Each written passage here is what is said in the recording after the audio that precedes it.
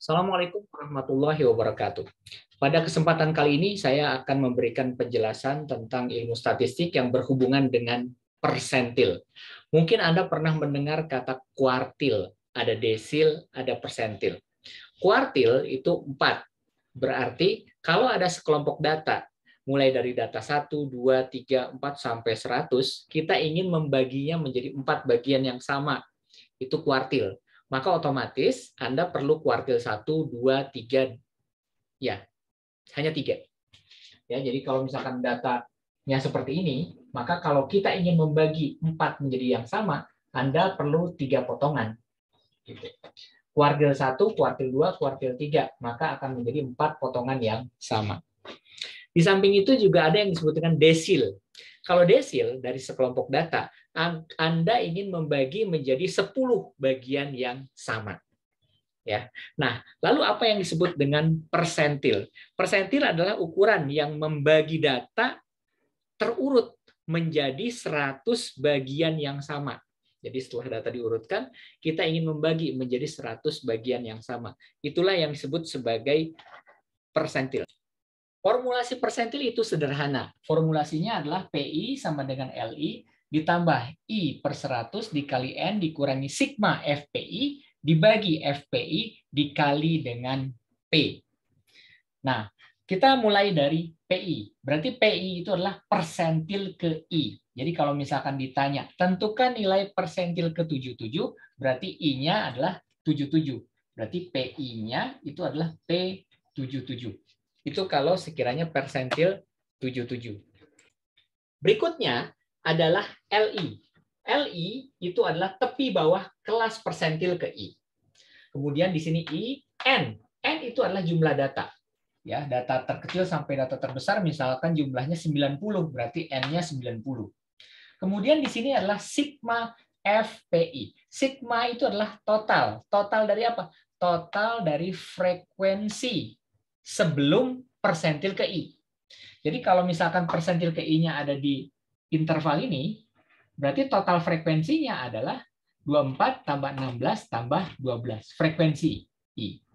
Kalau misalkan Eh, persentilnya ada di interval kelas ini, berarti total frekuensi sebelumnya adalah 16 ditambah 12. Kemudian dibagi dengan FPI. FPI itu adalah frekuensi persentil ke I. Jadi kalau misalkan persentilnya posisinya ada di sini, FPI-nya itu adalah 20. Kemudian dikalikan dengan P. P itu adalah panjang kelas interval. Nah, untuk mempermudahnya, kita akan mengerjakan satu soal. Baik, ini adalah soalnya. Diketahui tinggi siswa atau tinggi badan siswa itu sebagai berikut. Jadi tinggi badan itu frekuensinya ada di tabel ini. Ada 90 siswa di dalam satu kelas tersebut. Pertanyaannya adalah tentukan nilai persentil ke 77 dari kelompok siswa ini. Nah, otomatis kalau misalkan ada 90 siswa, ada 90 data. Jadi siswa pertama bisa jadi tingginya 145, siswa kedua tingginya 148, siswa ketiga tingginya 149. Begitu seterusnya sampai siswa ke 90. Nah, apabila ada sekumpulan data ini, maka Anda bisa menentukan interval kelasnya. Nah, ini ada bab khusus bagaimana cara kita mengkonversi dari data ini menjadi bentuk interval kelas seperti ini. Nah, di sini diketahui bahwa tinggi siswa yang tingginya antara 145 sampai 148 ada 12 orang. Yang tingginya 149 sampai 152 ada 16. Yang tingginya 153 sampai 156 ada 24 orang. Tentunya setelah kita urutkan dari yang tinggi paling pendek sampai yang paling tinggi. Jadi tinggi terkecil itu adalah 145, tinggi sis tinggi badan terbesar itu adalah 168. Nah, setelah itu kita akan menentukan frekuensi. Jadi frekuensi adalah jumlah populasi yang memenuhi kriteria interval kelas ini. Ya. Oke, berikutnya kita bisa menentukan frekuensi kumulatif.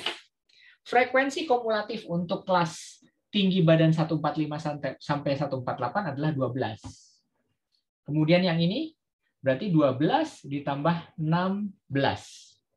Ya, 28.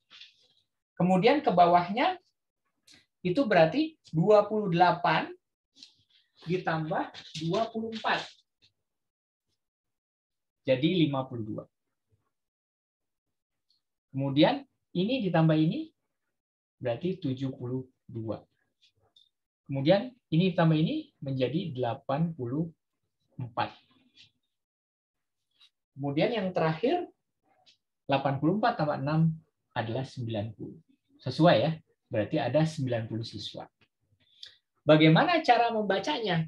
Cara membacanya itu adalah siswa yang tingginya antara 145 sampai 148 itu adalah siswa yang pertama sampai siswa yang ke-12.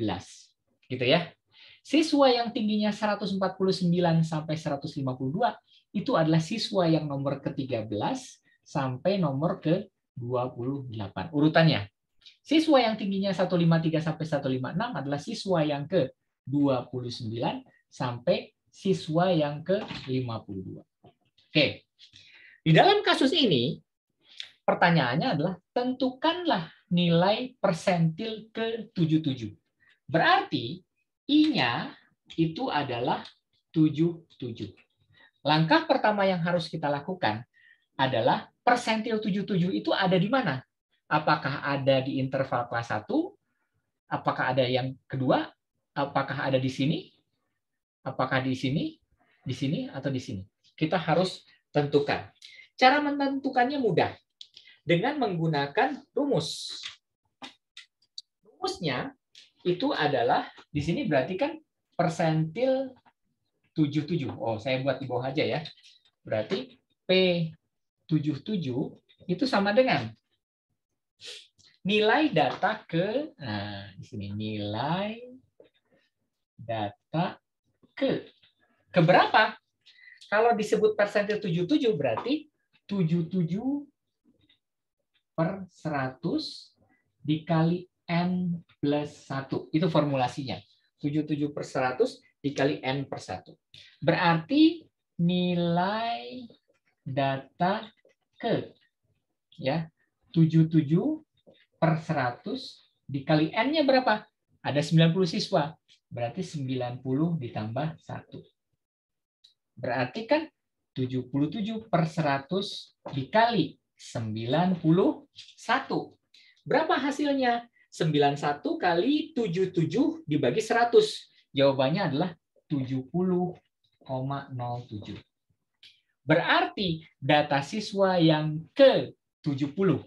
Pertanyaannya, ada di manakah data siswa yang ke-70? Tadi saya merangkan bahwa kalau di sini berarti data siswa yang ke-29 sampai ke-52. Kalau di sini Berarti data siswa yang ke 53 sampai yang ke 72.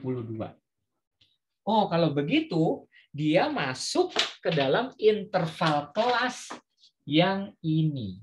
Dia masuk sini. Kenapa? Karena di sinilah antara 53 dan 72. Kenapa? Karena hasilnya adalah 70,07. 70 0,07. Kan ada di antara ini, antara 53 dan 72.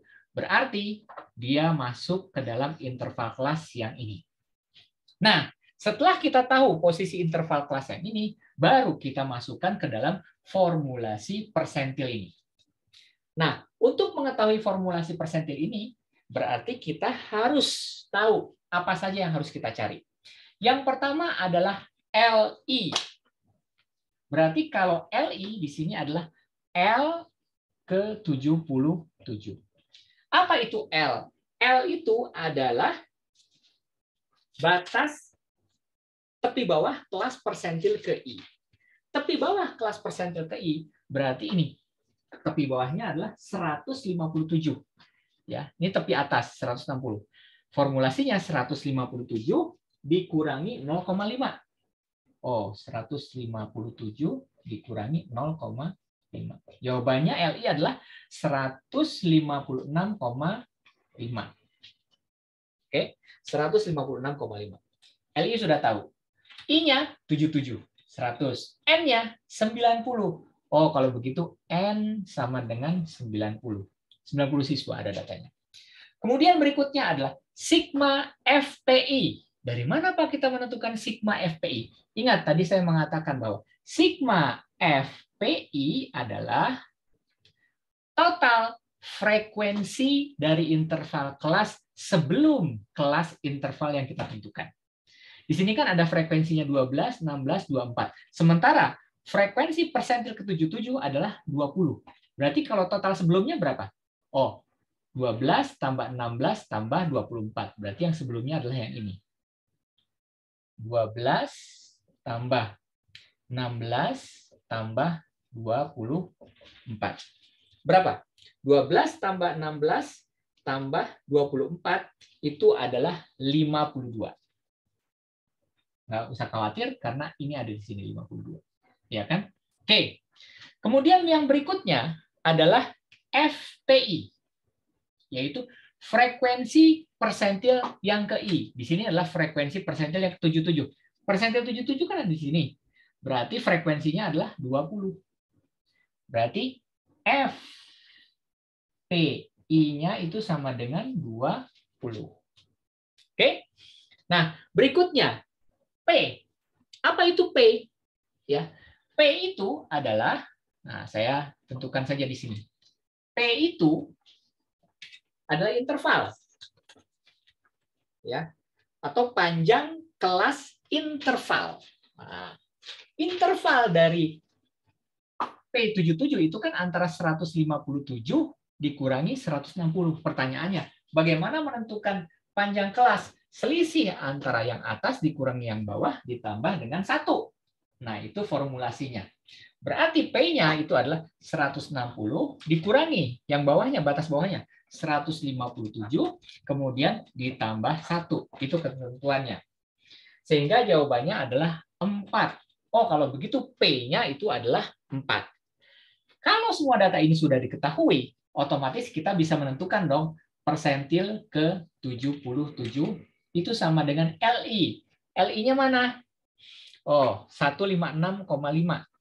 156,5 ditambah I-nya kan 77 per 100. Ya enggak? Dikali dengan N-nya. N-nya berapa? 90. Dikurangi dengan sigma FPI. Sigma FPI berapa? 52. Oh, 52. Dibagi dengan FPI. FPI-nya 20 dikali dengan P. Berapa P-nya? P-nya adalah 4. Ya udah, kita proses saja itu. Nah, dikalikan dengan 4. Berarti di sini adalah 156,5 kemudian ditambah ini kali ini dibagi 100 69,3 kemudian dikurangi 52 dibagi 20. Oke? Kemudian uh, dibagi 20. Kalau misalkan ini diperkecil, ini dibagi 4, 1. Ini dibagi 4 jadi 5. Gitu ya. Kemudian sama dengan 156,5 ditambah 69,3 dikurangi 52 dibagi dengan 5 gitu ya. Ya, sehingga saya teruskan ke sini sama dengan 156,5 ditambah 17,3 dibagi dengan 5. Oke, di sini sudah dekat. 156,5 ditambah 3,46. Sehingga hasilnya adalah 159,96.